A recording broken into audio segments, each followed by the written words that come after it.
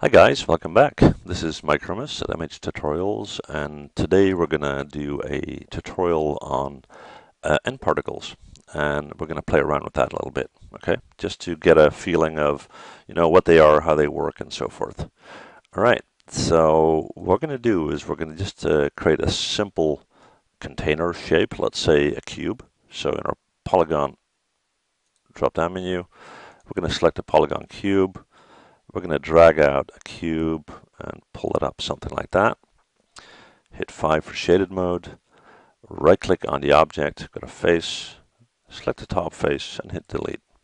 So we've got this little box here, okay? I'm going to right click, go to object mode, and I'm just going to hit W and pull it up just a little, like so. All right? Doesn't really matter as long as we got some sort of container. Okay. So now we want to create nParticles. Now, where do we do that? We go up to our nDynamics menu, right there. And in our nDynamics menu, we have the option to select nParticles. If we in nParticles go to create nParticles, we've got a couple of options here. Down here, these selection or check boxes, we can select the shape of the particle. So do we want points, balls, uh, kind of a cloud structure, a thick cloud, or water? We're going to go with a ball shape right now. Okay, so hang on. Yeah, ball shape. And up here, we can either select to create a particle, create an emitter that will uh, spit out particles, if you will. Uh, we can also emit from the object itself. Now, uh, just a scenario where you would do that. Let's say you modeled a piece of wood that is burnt, okay, and it's still smoking if you were to select, let's say, the cloud shape particle, and you would make that a black cloud, right? You would apply negative gravity to it, so instead of going down, it will go up. And you would emit it from your object, you would have black smoke coming off your burnt piece of wood. That's just a, an option, okay? And you can also uh, select fill object. Let's say you have a glass and you want to fill that with water, right? So we're going to leave it in the selection balls here, right? And we're going to go to create emitter and we're going to hit our option box. Make sure that you go up to edit and reset settings just to make sure you have no previous settings going on. Uh, the emitter type here, okay, I got an omni, which means that the direction will be going everywhere in all directions, right? You can have it directional or you can have volume. We're going to leave it at omni right now. Now, the rate is the number of particles per second that are coming out of the emitter. Okay? And we've got some other uh, speed and so forth, but we'll look at that in a sec. So we're just going to hit create. And as you can see, we have our move tool arrow here. So I'm just going to go underneath our box. We got this arrow here and our nucleus. So what we're going to do is we're going to hit W and we're going to pull those up, like so. Okay, so now we are ready to emit particles. It's on top of my box, all right? So what we're going to do is we're going to play this. And what do I mean by play this? This is a simulation. We got moving parts, we got balls emitted from the emitter, and uh, for that we need to have frames in our animation slider. Now this is not enough if I were to hit play now, probably um, the particles coming out of the emitter wouldn't even hit the box, but we'll give it a try. Just going to hit play. As you can see, they, they're gone before they hit the box because we don't have enough frames. So I'm going to stop, go back to the start here. Let's set that to a 1000 and let's try that again. Okay. So much more time now. However, you see that the particles are going straight through the box. Okay, and we'll address that in a sec. We're going to stop that. We're going to go back to our start position. We're going to select our box and we want this box to interact with the particles. So while I have this box selected, I'm going to go up to, uh, I think it was NMesh, yeah, NMesh, and click on Create Passive Collider. Okay, we did that. Go back to the start of our animation and let's try this again. And what you see now is that they are suddenly interacting with the box. And actually, if I had enough frames to play this out, the box would be filled with these balls, right? It's pretty cool, huh? Now, I want to show you a few things while this is playing out. So I'll just go back to the start. I'm going to hit play. If we go into our uh, nucleus, we have a couple of options. For example, we have a gravity setting. Now, if I were to drag down that gravity, you see that if I'm at zero, suddenly they're just floating out of the space. There's no gravity anymore. There's no reason for the particles to fall down. Okay.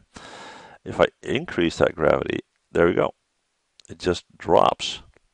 And the higher the gravity, the faster they will fall, which is, you know, kind of a natural phenomenon. So that's normal. Right?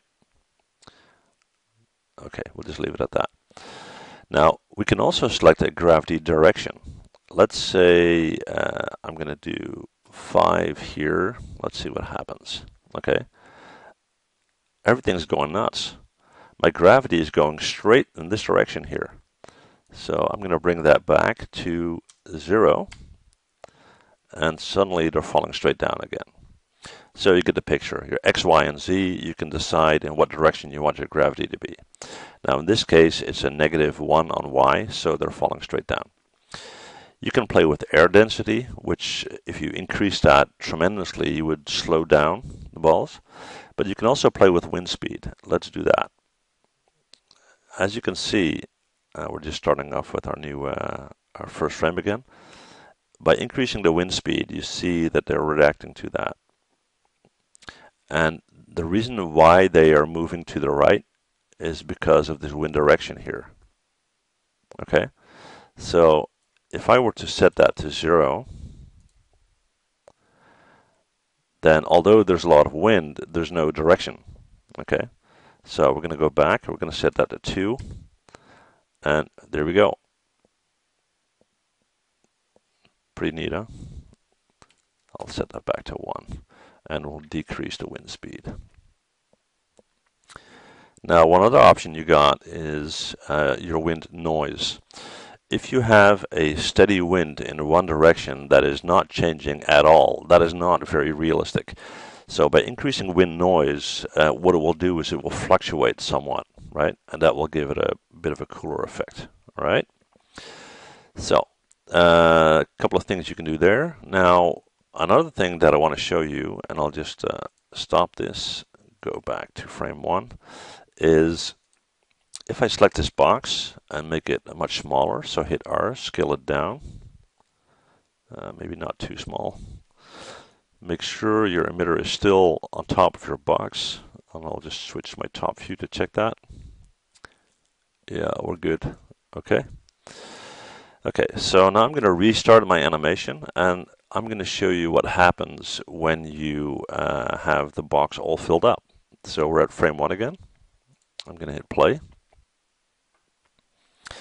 And the neat thing here is that if you just uh, wait a second, you're going to see that they will, uh, the box will overflow. And you already saw some of them. Um, the balls will just actually fall out of the box and just fall down into space, so to speak. I'll just zoom in a little bit so you can see that a bit better. Okay, so you see that they're falling down there. Now that wouldn't be ideal um, because if you have a scene, uh, you wouldn't want balls going straight through the floor and so forth. Okay, so we're going to go back to our start frame. We're going to create a ground plane for our scene. Let's say the floor in the living room or whatnot. Okay. Make sure that our box is sitting on that floor. So pull that down. like that.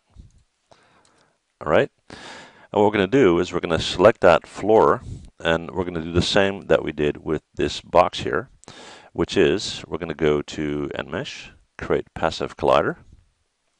We've got our scene set at frame one.